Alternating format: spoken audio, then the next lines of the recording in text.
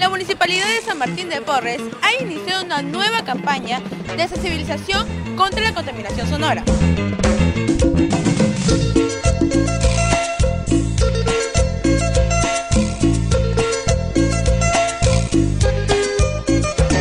En coordinación con la Gerencia de Seguridad Ciudadana y CODISEC, la Municipalidad de San Martín de Porres inició una divertida campaña de sensibilización contra la contaminación sonora, con la finalidad de reducir el uso excesivo del claxon.